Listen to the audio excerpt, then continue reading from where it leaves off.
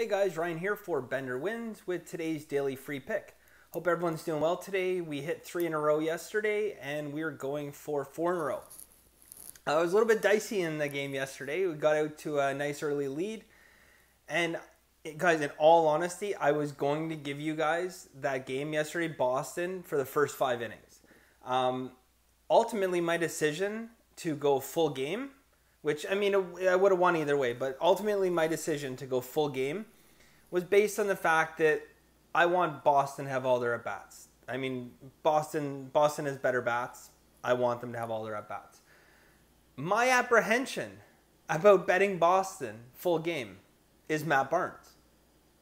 It, honestly, is Matt Barnes. He is such a liability in the bullpen. And I was very concerned that if we did have a close game, they're going to bring him out for a save. He's not a terrible relief pitcher, but he's the worst closer I've seen in many, many years. Sorry, Matt, you are. He has four saves this year and seven blown saves. And had they left him in after he gave up those initial two walks, he, he walked the first two batters he saw, or sorry, gave up two hits, the first two batters in the ninth inning he would have had blown save number seven. Luckily, they acted and they squeaked out a win.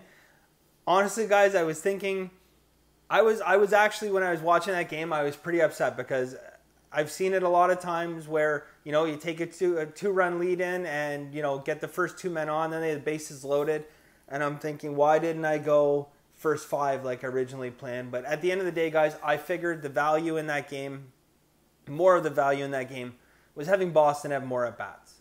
So, anyways, that's why I went full game. But when I saw Matt jogging out of the bullpen, I'm like, oh my God, here we go. I was right. Um, a couple other things, guys. Yesterday, in the football game, NFL game, um, I'm sure most of you watched it yesterday.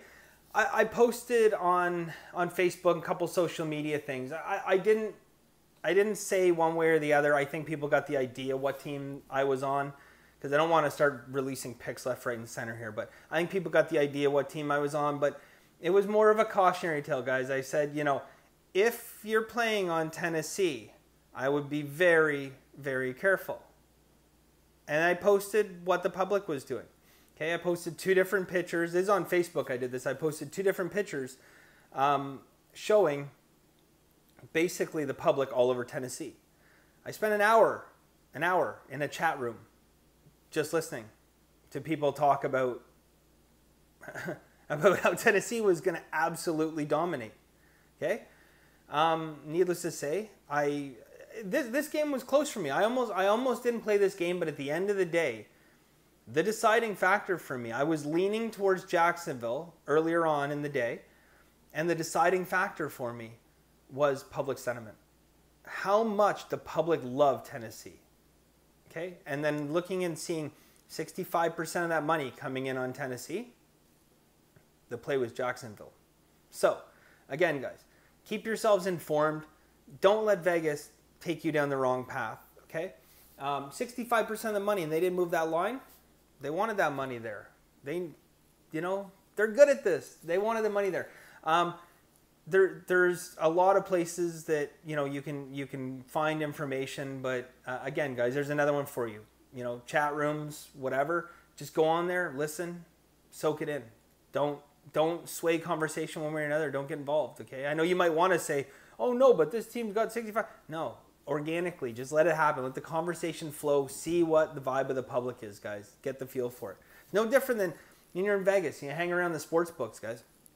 The reason why I spend all day in the sports book. I mean, absolutely all day. My girlfriend can attest to that. She come down and say, "You ready to go?" I say, "No, I'm not ready to go, guys."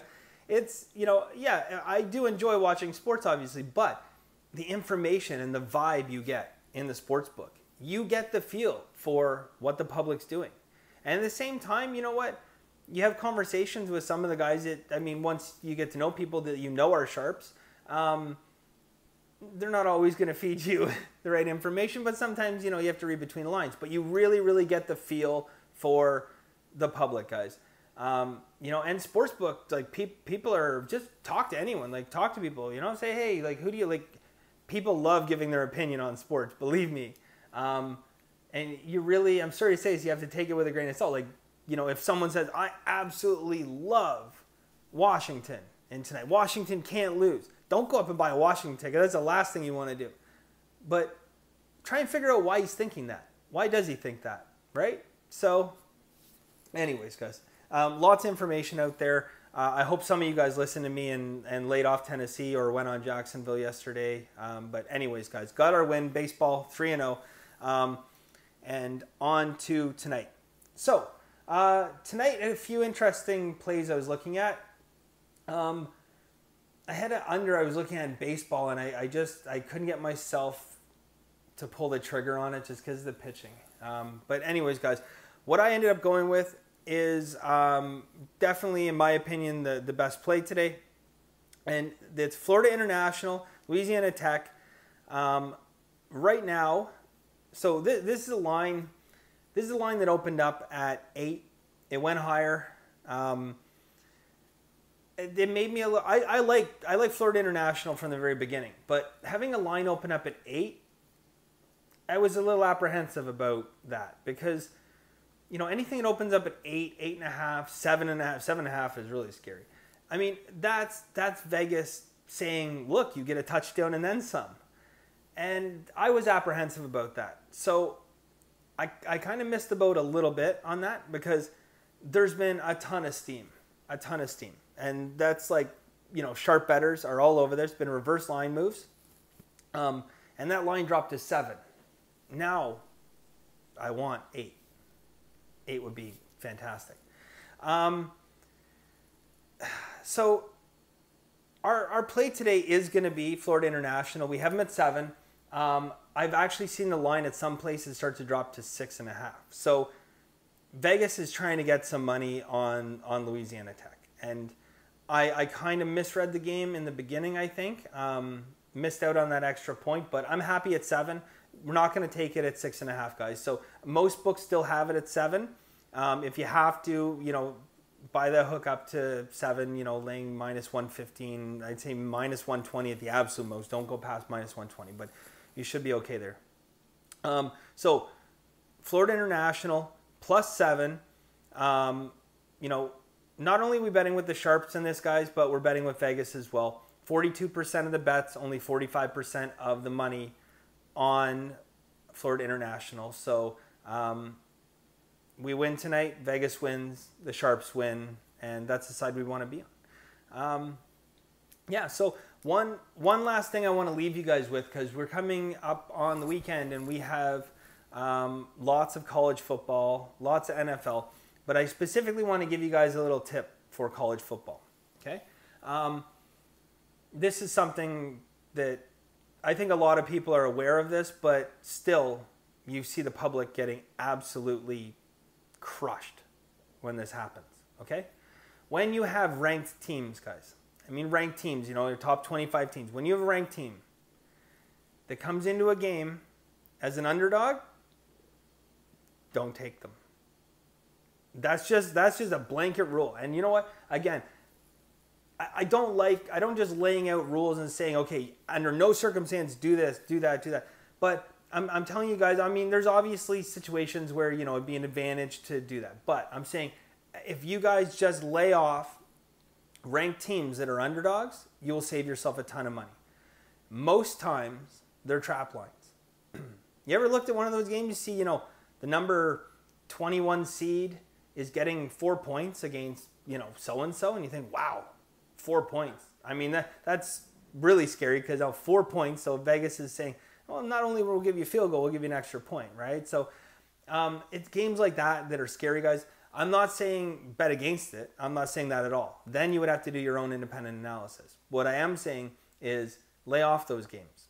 Okay, lay off taking um, the ranked team as an underdog. All right, so anyways, guys, that's it for today. I uh, really appreciate all the support. We're going for four in a row. Florida International plus seven. Let's go. Um, and we'll be back tomorrow. Um, I actually might post my video later tonight, um, just depending on um, the games we're taking for tomorrow and what time. But um, as always, guys, please uh, subscribe and make sure you turn on the little notification bell. It's down there somewhere. There. Turn on the little notification bell, guys. That'll notify you whenever I post a video, and that way you're not going to miss any picks, especially on the weekend, guys. They come in fast and furious. Uh, as I did last weekend, I ended up posting um, not only a pick in the morning, but I also did an afternoon pick. I'm not sure if I'm going to do that this weekend because um, I haven't narrowed it down to the exact, you know, best game or two best games or whatever, but um, it may happen, guys. So, anyways, thank you very much as always. Really appreciate it, and we'll talk to you soon. As always, guys, have a good day.